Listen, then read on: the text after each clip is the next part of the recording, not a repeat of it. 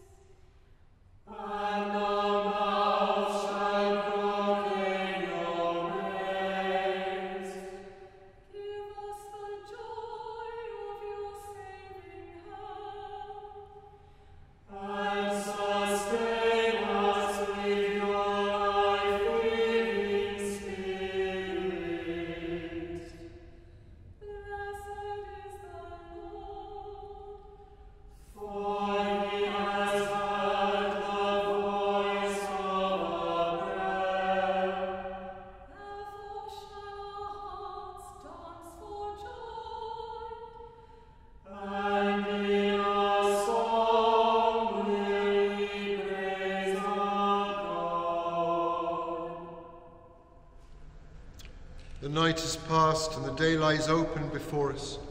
Let us pray with one heart and mind.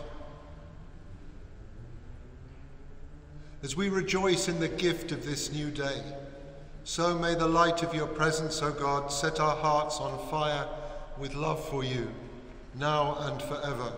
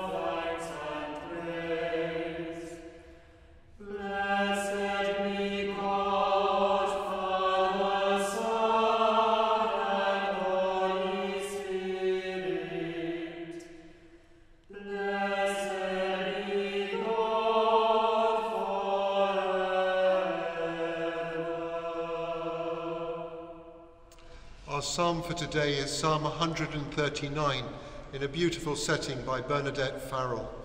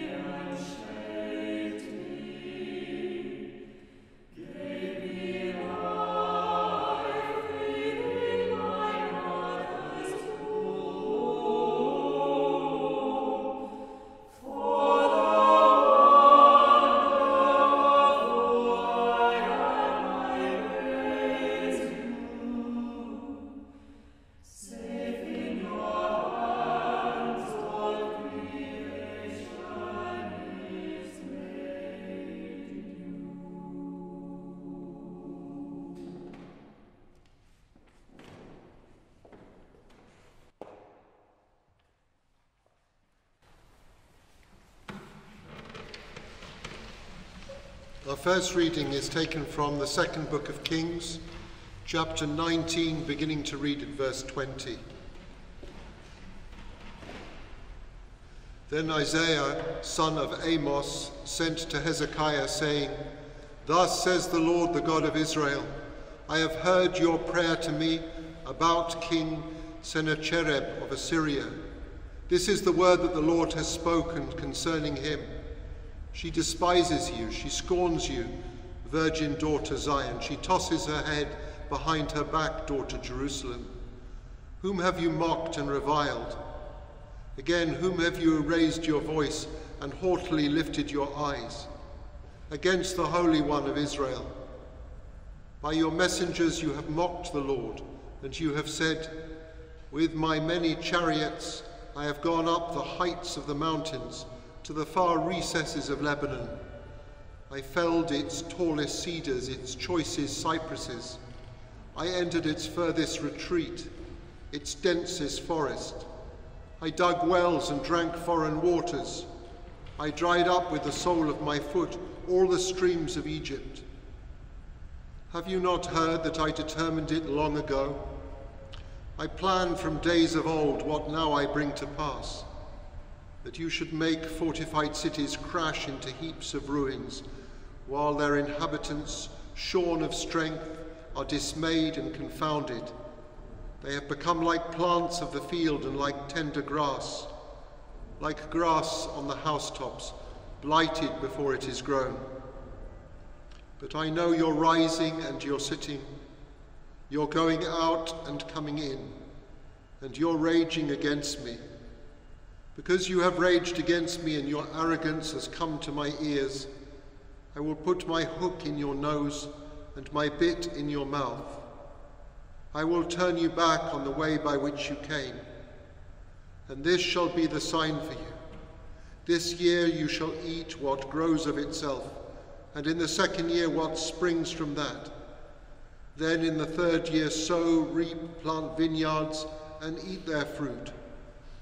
The surviving remnant of the house of Judah shall again take root downwards and bear fruit upwards. For from Jerusalem a remnant shall go out, and from Mount Zion a band of survivors. The zeal of the Lord of hosts will do this. Therefore, thus says the Lord concerning the king of Assyria He shall not come into the city, shoot an arrow there, come before it with a shield or cast up a siege ramp against it. By the way that he came, by the same he shall return.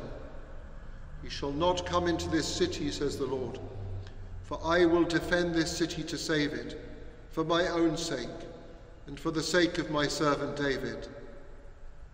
That very night the angel of the Lord set out and struck down 185,000 in the camp of the Assyrians. When morning dawned, there were all dead bodies. Then King Sennacherib of Assyria left, went home, and lived at Nineveh.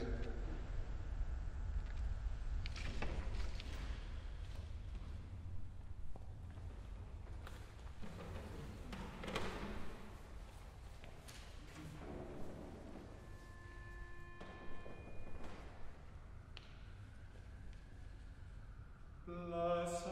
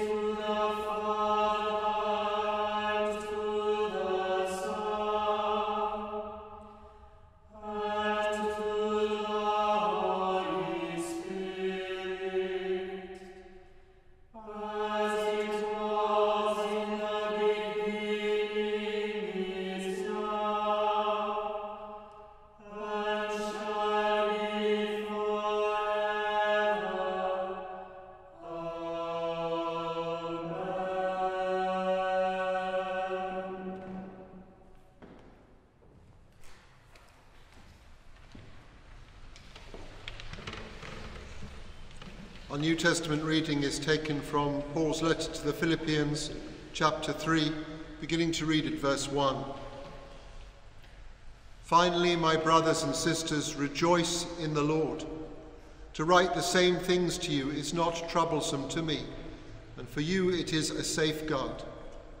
Beware of the dogs, beware of the evil workers, beware of those who mutilate the flesh. For it is we who are the circumcision who worship in the Spirit of God and boast in Christ Jesus, and have no confidence in the flesh, even though I too have reason for confidence in the flesh. If anyone else has reason to be confident in the flesh, I have more. Circumcised on the eighth day, a member of the people of Israel, of the tribe of Benjamin, a Hebrew born of Hebrews, as to the law, a Pharisee, as to zeal, a persecutor of the church, as to righteousness under the law, blameless. Yet whatever gains I had, these I have come to regard as loss because of Christ. More than that, I regard everything as loss because of the surpassing value of knowing Christ Jesus my Lord. For his sake I have suffered the loss of all things, and I regard them as rubbish, in order that I may gain Christ and be found in him, not having a righteousness of my own that comes from the law, but one that comes through faith in Christ, the righteousness from God based on faith. I want to know Christ and the power of his resurrection and the sharing of his sufferings by becoming like him in his death, if somehow I may attain unto the resurrection from the dead. Not that I have already obtained this or have already reached the goal, but I press on to make it my own because Christ Jesus has made it his own. Beloved, I do not consider that I have made it my own, but this one thing I do, forgetting what lies behind and straining forward to what lies ahead. I press on towards the goal for the prize of the heavenly call of God in Christ Jesus. Let those of us then who are mature be of the same mind. And if you think differently about anything, this too God will reveal to you. Only let us hold fast to what we have attained. Brothers and sisters, join in imitating me and observe those who live according to the example you have in us. For many live as enemies of the cross of Christ. I have often told you of them, and now I tell you even with tears. Their end is destruction, their God is the belly, and their glory is their shame. Their minds are set on earthly things. But our citizenship is in heaven, and it is from there that we are expecting a Saviour, the Lord Jesus Christ. He will transform the body of our humiliation so that it may be conformed to the body of his glory by the power that also enables him to make all things subject to himself. Therefore, my brothers and sisters, whom I love and long for, my joy and my crown, stand firm in the Lord in this way, my beloved.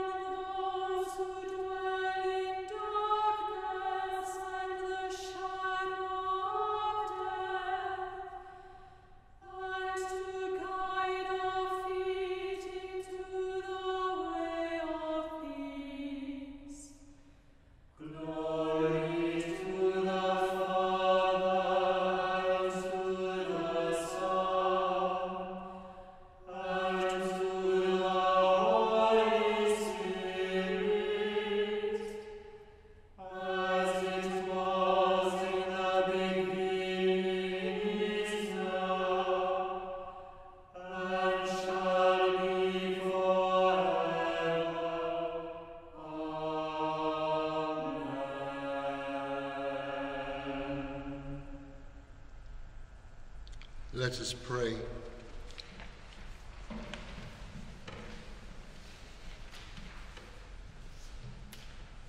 Rejoice in the Lord always, and again I say rejoice.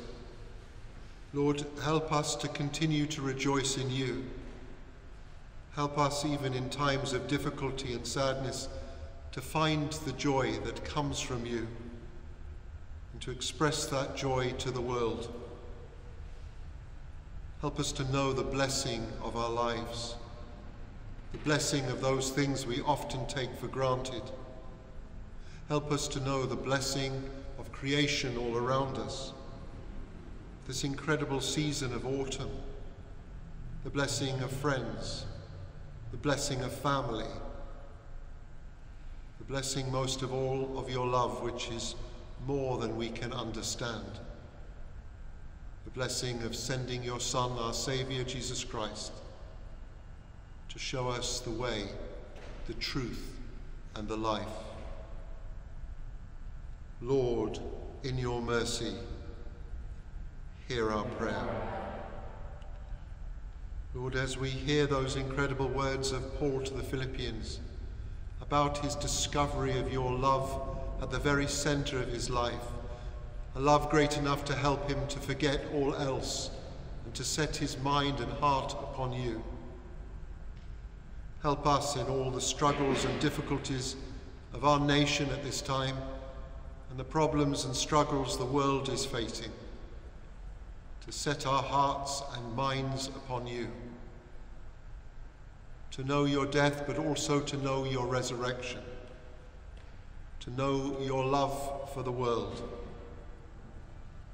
Help all those who are struggling at this time, those who are lonely, those who are isolated, those with mental health needs, those who have lost the livelihoods that give them life and inspiration, all those who are unsure of the future and uncertain what that future will bring. Hold us, direct us, guide us, and keep us. And we especially pray for all those who are in hospital at this time. We pray for those places throughout our country where the lockdown is particularly severe. We pray for doctors, for nurses, for all workers with the elderly and sick, all those who care for people in care homes or in individual homes. Lord, may the needs of the most vulnerable not be forgotten, for we know that they are closest to your heart, and that you have told us that whatever we do for the least of our brothers and sisters, we do it for you. Lord, in your mercy, hear our prayer. Lord, we pray for all those who are involved in the creative arts. We pray for actors, we pray for musicians, we pray for singers. In this time when many people are not able to practice their profession, professions in the way that they want to, we, we remember what an incredible gift it is to all of us to have people with this creative talent among us. We give thanks today for our choral scholars and for the gift of music that they bring to us, and for all our choirs here at St Martin in the Fields. We give thanks for choirs and orchestras throughout London and throughout the country and throughout the world. All theatres and performing art venues, and all those who are trying to find new ways to keep our creativity, imagination, and sense of hope alive. Lord, in your mercy, hear our prayer. Lord, as we begin to come towards this time of remembrance, we remember all those who have parted this life. We remember also all those who are vulnerable at this time, those who are homeless, those who are refugees and asylum seekers seeking a place of safety and belonging from all over the world those who face long journeys and violent seas in order to find a place of safety and refuge for their families. All those living through situations of danger and conflict, war and brutality. All those who are not able to practice their faith in the way that they would like to. Into your loving care, into your safekeeping, Lord, you are everywhere. Defend and protect all those for whom we pray this day. Lord, in your mercy, hear our prayer. And finally, Lord, let us bring our own needs before God, the needs of those we love, our own concerns and difficulties, our struggles and our hopes and our joys. And in this time of silence, silently in our hearts, offer those prayers to the God who hears us all.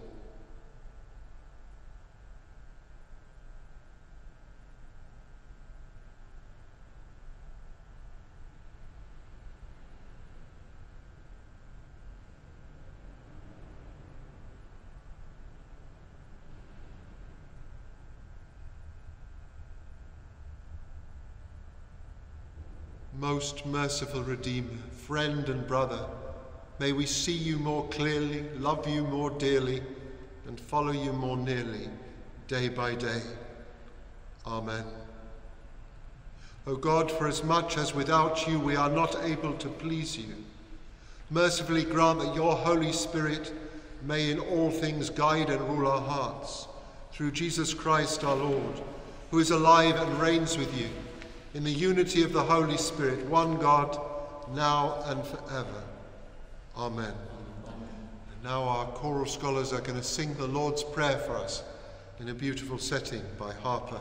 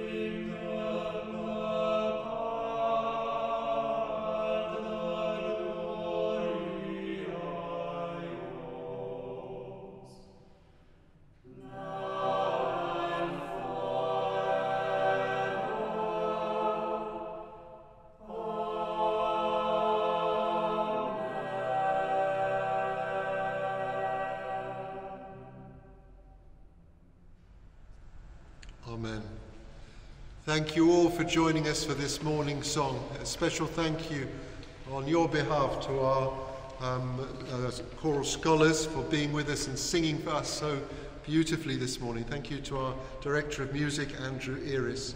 Do join us tomorrow morning at 8 o'clock for the meditation. Do join us on Sunday at 10 o'clock for our Holy Eucharist, our parish Eucharist, and every morning at 8.30 for morning prayer with Bread for the World on Wednesdays at 6.30. Don't forget our autumn lectures are now online. You can hear Tom Holland, Rowan Williams and Neil MacGregor. All those lectures are free and available on our website for you to hear if you look up St Martin's Digital. And our final lecture in the series is on November the 2nd with Paula Gooder uh, which is about discerning and finding God and trusting in God through Scripture. She's a brilliant scriptural scholar. She'll be here and chaired by our vicar, Reverend Dr. Sam Wells. So do join us on that 2nd of November. Put it in the diary. And now the blessing. May the blessing of God Almighty, the Father, the Son, and the Holy Spirit be with you and all those whom you love, this day and every day. Amen.